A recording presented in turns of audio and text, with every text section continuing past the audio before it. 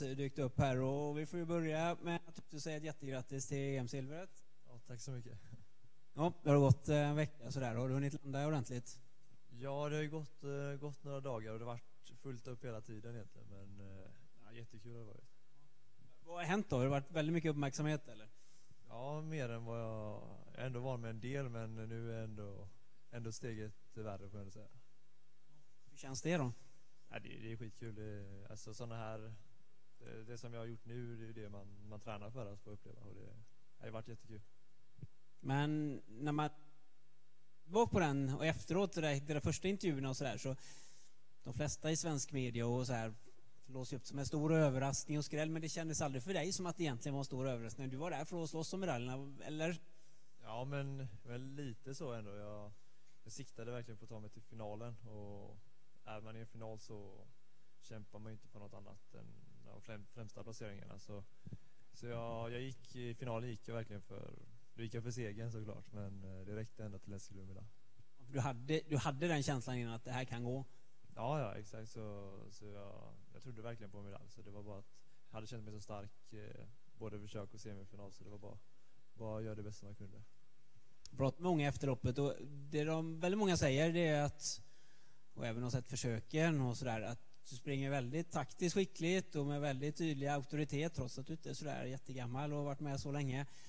Är det någonting som du haft naturligt eller eh, är det något som du fått lära dig? För så känner jag igen dig sedan alla år egentligen.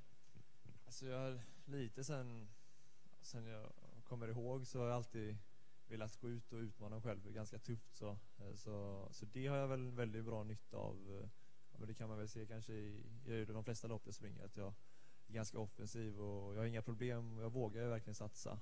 Eh, så, och sen eh, har jag lärt mig mer lite det, det senaste. Ja, ju, fler, ju mer man springer så lär jag mig eh, hur jag ska lägga upp loppen mer bättre och spara på krafterna på, på bästa sätt. Ja, men du är inte rädd för att springa från täten om man har konstaterat i alla fall? Nej, utan jag tycker det var, var kul att utmana mig själv lite extra. Du är bara 21 satt svenskt rekord och så vidare. Vad, vad, ser du framför dig om man tittar ett par år fram i tiden? Ja, alltså jag, jag ser mig själv nu har jag varit med på, på VM och EM och jag ska till OS, eh, tänker jag. Så det, det är på de här stora mästerskapen som jag vill prestera. Eh, och det, det är ju framtiden nu. Eh, det kommer ju mästerskap varje år och nej, jag, jag ser verkligen fram emot de här eh, åren som kommer nu och känner att jag är på rätt väg. Mm, och EM naturligtvis, då blir det ju väldigt mycket fokus på att springa för placering. Imorgon nu så pratas det ju mer om tid och en tid som är 1.45.03 som bland annat sprang på det på EM och att nu ska springa fortare och kanske under 1.45 och svenskt rekord och sådär. Tänker du runt det då? Alltså jag känner mig, eh, jag är i väldigt bra form så och om man ser på loppet jag sprang på EM så är jag verkligen så kan jag verkligen springa fortare än det eh, om man lägger upp det på, på ett annat sätt och eh, jag hoppas verkligen, jag får se lite, allt spelar ju roll eh, hur de andra vill springa imorgon och Eh, och också speciellt vädret eh, eh, och vinden och sådär. Så, så det är klart, allt måste ju stämma för att det ska kunna bli ett snabbt, snabbt lopp. Men jag känner mig, jag känner mig bra, så jag, jag är god för att springa en snabb tid, men får se lite hur det blir imorgon. Hur, hur vill du ha det då? Vad är, vad är det optimala? Förutsättningsmässigt och som loppet ska gestalta sig? En snabb öppning och ett snabbt sista varv. Men framförallt att det är någon mer som är sugen på att springa fort. Och sen jag tror oavsett om, eh, om, om det ändå inte skulle finnas eh, förutsättningar för att springa en snabb tid så, så kommer det bli ett riktigt roligt lopp att springa och att kolla på.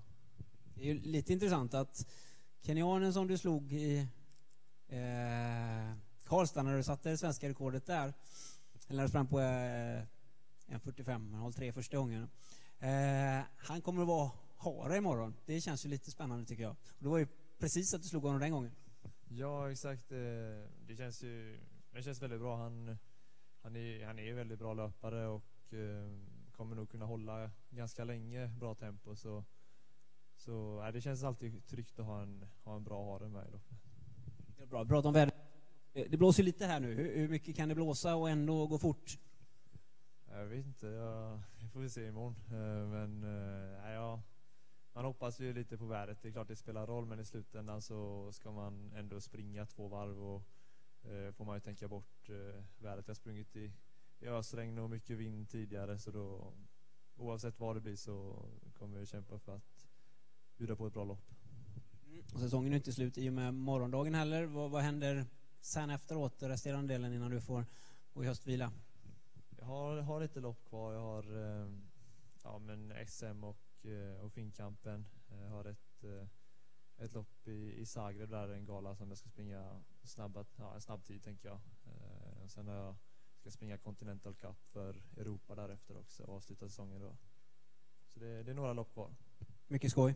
Jo men eh, riktigt kul ska det bli. Jag känner, känner att formen håller fortfarande i sig och planerar att hålla i den resten av säsongen. Annars nu har du fått ett jättegenombrott här internationellt också, men eh, kan man ju tänka sig att du skulle satsa på heltid och sådär. Men du planerar att börja på Chalmers om några veckor, hörde jag. Ja, det, jag ska ju det. Jag ska ha upprop på, på tisdag nu, så det blir, eh, det blir eh, träna mycket, jobba lite och ja, plugga en del. Så det, jag hoppas kunna kombinera det bra. Låter bra det. Lycka till imorgon. Tack så mycket.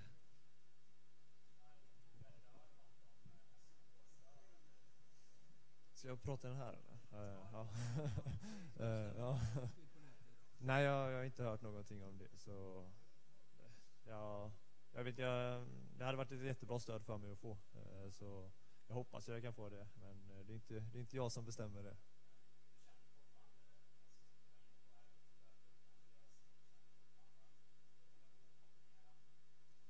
Hoppas ju det. Jag har ju bara, jag har bara pluggat nu i gymnasiet eh, tidigare på Katrinlundsgymnasiet där och, eh, och det fungerade väldigt bra att kombinera med, med friidrotten. Eh, då hade vi ett bra upplägg med, jag kunde, det, var det träningar i skolan och idrottsupplägg, allt kring där. Eh, nu så, så är det riksuniversitet på Chalmers och jag hoppas, hoppas jag kan lägga upp någon bra plan för mig där. Så jag får se lite hur det fungerar, men eh, ska börja på tisdag i alla fall. det var på den här tävlingen, eh, tror jag, i 2015 kanske. Eh, sprang 1000 meter, det var samma lopp som Berglund slog mitt eh, juniorrekord på 1000 meter. ja, jo men det har jag ändå gjort, det får jag ändå säga. Då, efter det kom jag med som, som reserv till eh, finkampen. Finnkampen. Och nu hoppas jag komma med som mer än reserv till Finnkampen. Ja, ja.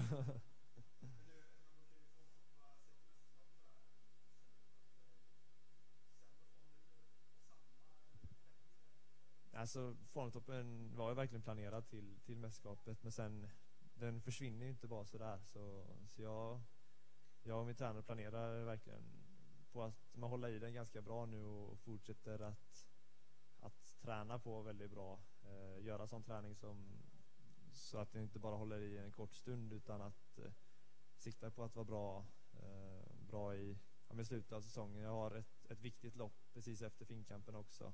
Och, eh, och sen vill jag inte göra bort mig heller när jag ska springa för Europa.